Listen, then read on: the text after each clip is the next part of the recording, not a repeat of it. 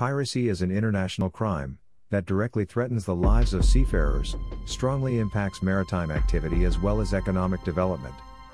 The global damage caused by piracy is estimated at 13 to 15 billion dollars.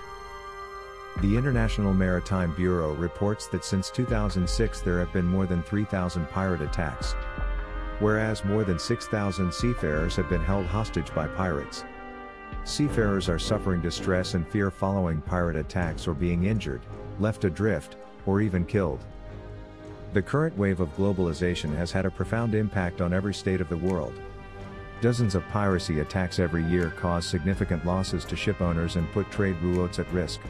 This is a catastrophe for maritime transport, which evolves with the times and results in it taking measures to suppress piracy and to ensure sea areas. International Maritime Organization IMO came up with the Ship Security Alert System SSAS project, which is part of the ISPS code, to develop a security plan to sort out piracy threats. The role of the SSAS is combating and subduing acts of piracy, to strengthening ship security. A total success in combating piracy demands an SSAS product that accommodates a complete solution that is helpful to sort out all ship owners and seafarer safety concerns.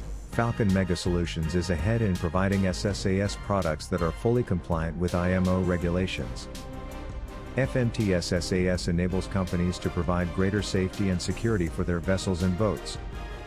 For more information, please visit www.falconmegasolutions.com.